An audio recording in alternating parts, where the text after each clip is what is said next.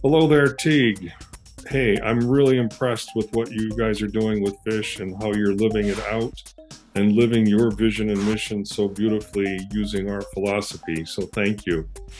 Hey, it's a goal of ours to have more stories told about people living the fish philosophy. So if it might be possible, it would be kind of fun to see if we can get your story on video. So I look forward to seeing what the possibilities are. So thank you very much.